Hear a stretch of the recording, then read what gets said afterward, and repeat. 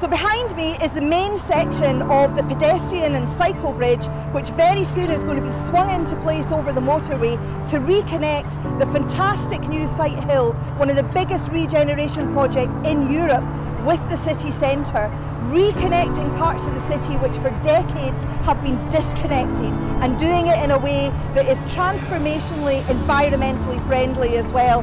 It will just be a short stroll from Sighthill to the city centre I think it looks amazing. It's made of weathering steel which will respond to the natural environment. I'm really excited to see it in place, reconnecting our city again. So we've uh, closed Scotland's busiest motorway for 14 hours tonight. We've uh, transported a bridge from its offline position over the motorway and installed it on the abutments either side. So the bridge was fabricated in its offline position. It was made in 25 sections, delivered here during the night shift closure of the motorway and installed on trestles and welded together at the side of the motorway. Currently the bridge is above the abutments. We need to jack down onto its temporary bearings and once we're happy with the position we will disconnect the SPMTs from the bridge, take them back to the offline position at the side of the motorway and we will reinstate the barriers and then it will get the cars reopened for the general public tomorrow morning. I just want to say a, a big thank you to the team. It's been a major milestone for the project and a great success for BAM.